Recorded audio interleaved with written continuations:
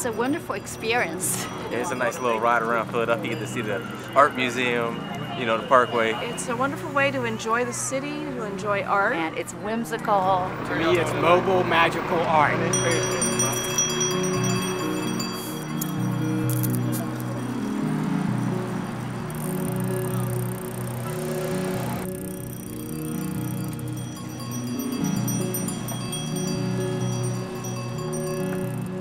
I heard about Fireflies from her. I heard about it from him. I found out about it on Facebook. The Visit Philly website. On Channel 6.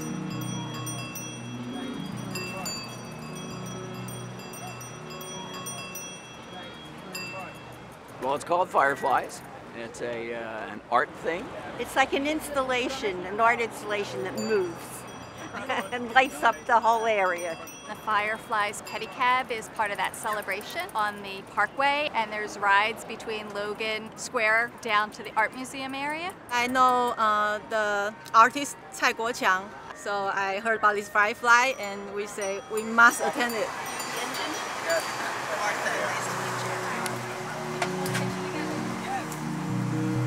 My name is Allie. Welcome to the Firefly. My name is Ali Sasick, and I'm one of the pedicab operators for the Fireflies.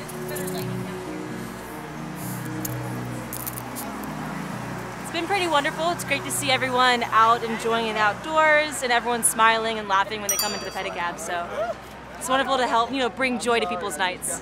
I think it's seeing all the beautiful designs for the lanterns and seeing them lit up at night. It's pretty magical, which is kind of what I feel like Cai wanted to bring the childlike joy out of people. For me, this is what we should have more of.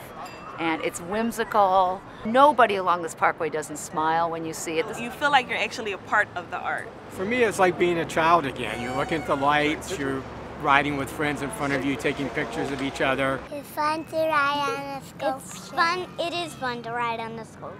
I've never seen all those beautiful lights before, you know. It's like, oh my god, it's so beautiful.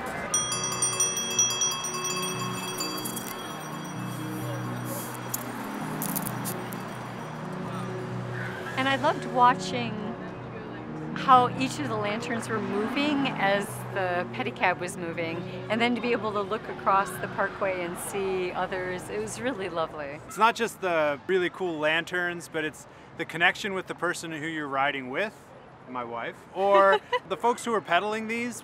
They've got some great experiences, and it's fun to just ask some questions of them, interact. It's like really exhilarating riding down the road with the passengers, enjoying the, the fireflies and the, the lamps bobbing around and the, the cool breeze. I think what I appreciate most about it is that I get to meet so many people.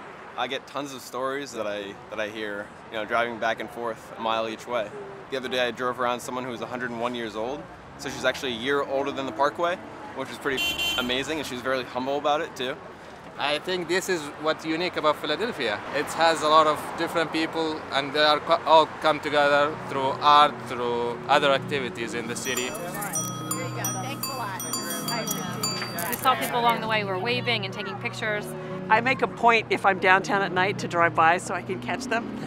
I live in one of the apartment buildings on the parkway, and looking down at night when it's very dark and you see these lights, it's just spectacular. It's wonderful. There's a lot of great public art in Philadelphia, but there's a lot of really new and innovative ways in which we're reinvigorating these public spaces.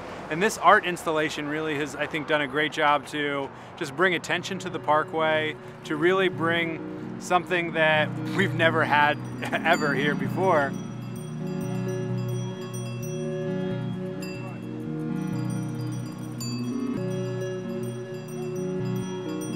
This one is one of a kind, so I think this is going to set the tone going forward to how we interact and interface with public art. This represents what I think a major great city can be.